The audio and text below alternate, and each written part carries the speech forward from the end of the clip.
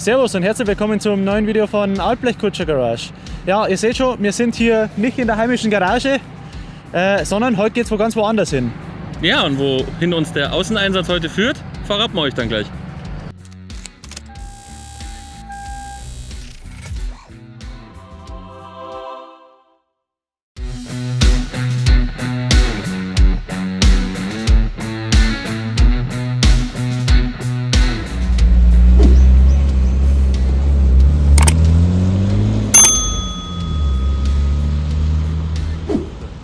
Genau, wir sind jetzt bei GP Power angekommen, rennen jetzt gerade mit dem Walter noch über was zu tun ist.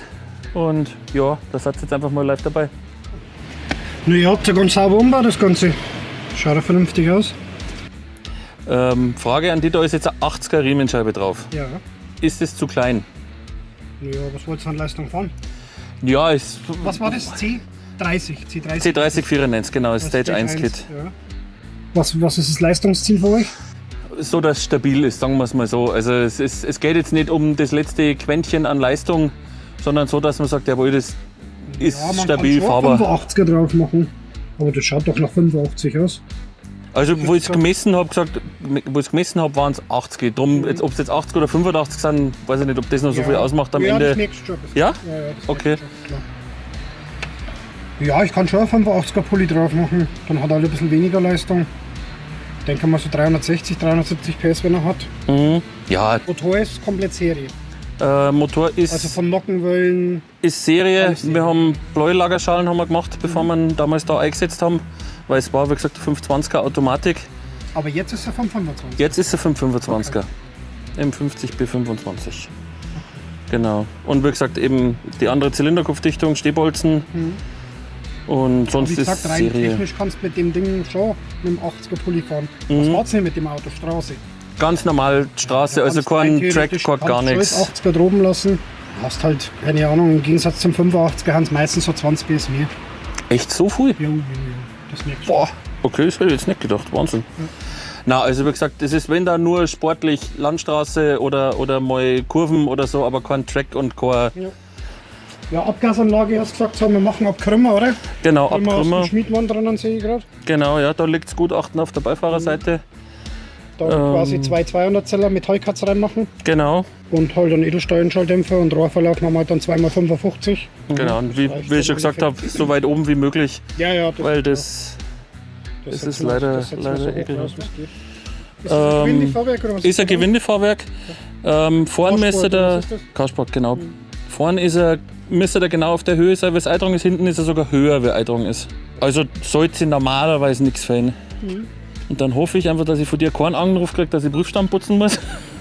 Normalerweise. Wenn sie sauber alles zusammenbaut habt, fällt sie da nichts. Ja, wir haben uns viel Mühe gegeben, haben wir geschaut, dass man es durchdacht macht. Ja gut, du bist ja jetzt eh schon. Was bist du gefahren? Seit Ja, ich glaube in Summe sind es jetzt 500 Kilometer immer Piano und dahin gerollt. Und so hat auch toi toi toi alles funktioniert, alles gehalten. Ich habe da Leute, Kundschaften, die fahren schon über 100.000 Kilometer mit so einem Kompressorkit Mhm. Das läuft eigentlich ganz entspannt, das Ganze. Der Genau. Einbau hier hat super funktioniert, oder? Hat super funktioniert. Wir, am Anfang haben wir gemeint, okay, wir machen es mit Schellen und Bögen und sowas. Mhm. Und dann haben wir doch irgendwann umgeschwenkt auf, okay, wir schweißen das meiste, Ja, ja. weil es, Ja, sonst kommst du aus den Schellen nicht mehr raus.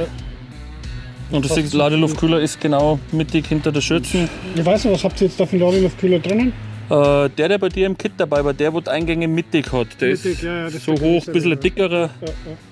Das ist der 90er. Ihr habt ja kein Klima. Klima bei mir 34 wird es dann eng. Ja, das glaube ich. Kompressorölkühler ist drin, der ist oben hinter der Nieren. Mhm. Ist beim Stage 1 Kit ja inzwischen nimmer dabei. Nein, hat Aber- aber alles rausgestrichen. Aber ich habe mir gedacht, das werden sie nicht ohne Grund irgendwann mal dabei gehabt haben. Jetzt Und auch sicher, teurer sicher. Ja, das glaube ich. Jetzt zum, zum Jahreswechsel sind es fast 200 Euro teurer geworden. Boah, Mhm. Wahnsinn. Ja, siehst du, der E-Lüfter ist verbaut. Der, Der läuft, geht aber über den Schalter oder? der geht über den, über den Schalter, da über den das- das, Thermoschalter. Also der läuft, wenn er anläuft, läuft er sofort Vollgas mit. Genau, so, so eine Sachs Performance Kupplung, Mhm. die so irgendwie so 400 Newtonmeter aushalten sollte oder sowas. Ja gut, beim Kompressor, das wird auf jeden Fall reichen. Ja, Kompressor hast du nicht so die Drehmoment. Äh, ja genau. mal. Da geht das dann auf jeden Fall. Es ist ein 3,0 Simmerdiff mit 35% drin. Mhm. Ja, gut, wir haben natürlich, wo wir das alles eingebaut haben und auch schon damals, wo wir den Motor eingebaut haben, viel überholt. Unterdruckschläuche, da das Rückschlagventil und alles so, was du halt mal in der Hand hast, haben wir eigentlich neu gemacht, damit das damit nicht alles wieder 15 Mal angelangen musst. Endrohre hast gesagt, willst wieder die Variante haben? Ja, hätte ich jetzt, So im 34 M5 Style. genau. Ja, das kriegen wir auf jeden Fall. Weil das ist, es ist ich, hab, ich muss ehrlich sagen, ich habe mir kurz überlegt, ob man Endrohre willst du die so wieder so hoch haben oder willst du die ein bisschen, dass die quasi mittiger drin sitzen? Dass bisschen das mittiger drin sind. Das ist jetzt, ist jetzt unter anderem, mal, weil der eine Auspuffhalter eben fade. Okay. Drum, Ein bisschen weiter runter, dass er Ja, ein bisschen mittiger drin genau, dass er ein sitzt. bisschen Ja, mittig ist drin sitzt. Genau. Der Kofferraumdeckel, der ist ja sehr Ja, gewesen. Ja, brutal, den Aber habe ich. war eine Zeit lang sehr begehrt, die haben recht teuer, gell? Ja, du, ich habe den tatsächlich damals durch Zufall bei Kleinanzeigen in Österreich gefunden. Mhm. Der war nie verbaut und da war aber kein Emblem drin. Also habe ich von einer Z3 Coupé Heckklappe das Blechstückel rausschneiden lassen Ah. und wirklich das komplette Blechstück da einsetzen lassen, dass ich ein vernünftiges. Emblem habe. Schau, früher hat man gecleant, gell? Wahnsinn. Haben wir die Embleme und heutzutage denkst du, ah, unbedingt rein. Emblem. Ja, ja. Ja, Die Zeit kenne ich noch, da wo ich 18 war, da haben wir die Embleme und so immer entfernt, haben alles Ja. gecleant, Türschlösser weg und ja, Drei Kilo Spachtel später. so. ja, so ungefähr. Ja gut, wir haben es nicht gespachtelt. ja, das verzehnt wahrscheinlich, oder? Ja, wir haben immer Bleche eingeschweißt und dann Rest Zement. ah, okay. Auch nicht das schlecht. Ja. Das hat Ja, das war furchtbar. Das hat's da, ja. Genau, kannst du sowas wie Flatshift und Lounge separat auf einen eigenen Ausgang legen? Äh, nee, ich kann dir das auf einen Kupplungsschalter legen. Okay. Und du kannst, man kann das ja so machen, warte mal, man Jo. kann das ja so machen, dass das quasi ein- und ausschaltbar ist. Ja, genau. Also mit, wir möchten den Klimaschalter recyceln. Mhm. Der Heizung. Kannst du sauber durchschalten. Ja, Weil die KDFI hat ja noch nur Eingänge für das kann ich sowas. so machen. Okay.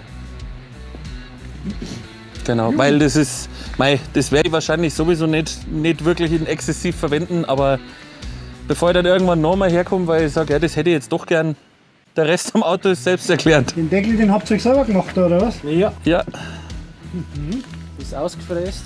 haben wir mal geschaut, wie Alpina das macht und haben ein wenig gespickt. Ja, warum nicht? Natürlich dasselbe tun. Der ist ausgefräst und von hinten dann praktisch reingeklebt. Ja. Ja, genau. 34 auf jeden Fall. Ja, und ich Was für war ein Baujahr? äh, April 91. Ja, hat jetzt 139.000 hat er jetzt drauf. Oder bestimmt nicht. Äh, ja, weil das aber äh, Zubehörflügel ist. Okay. Da war ich damals leider so blöd und hab mir gedacht, ja, ja, da kriegst du eh was Gescheites. Den neu lackiert oder was das Auto? ähm, ja, stellenweise, weil der hat natürlich keine M-Schützen gehabt und sowas und Türen waren durch und so, aber Motorhaube und Dach ist noch original und die Türen obenrum zumindest noch. Genau, brauchst du für den Prüfstand Sommerreifen, weil es sind jetzt Winterreifen drauf. Weil das habe ich mir tatsächlich nicht drauf bei dem wieder. Was haben die für Zulassung? Der Der Geschwindigkeit? 240. Also es Ist ein V-Index, ja. Das ist lang. Ah ja, gut, mei, das So sind viel, ja Läufe, so viel Läufe muss da gar nicht machen, weil da habe ich so viel Datenstände oder beziehungsweise das läuft ja jetzt halt schon gut. Mhm. Ich muss da maximal, sage ich mal, so fünf Läufe oder was machen, dann ist der Ach, das geht ja eh, ja. Dann ein bisschen im Teillast rumduckeln, dass er halt da perfekt läuft. Ja, genau, das ist das, was du halt jetzt gemerkt hast. Na, das Teillast oder mal kurz Wechsel in den Schubbetrieb oder so. Da. Ja, das, ist, das muss Aber das natürlich immer klar. anpassen. Genauso wie Kaltstart, Leerlauf und so und so. Ja. Na, aber so ist es eh schon dafür, dass du mal schnell über die R was draufspulst, läuft das eh schon. Ja, ja, also ich würde sagen, besser wie mit, einem, wie mit einem Seriensteuergerät. Ja, das läuft jetzt dann perfekt. Wenn das jetzt fertig ist, läuft das wirklich picobello sauber. Thema UAB Genau, wollte man- wollte ich gerade sagen. Das, statt KDFI.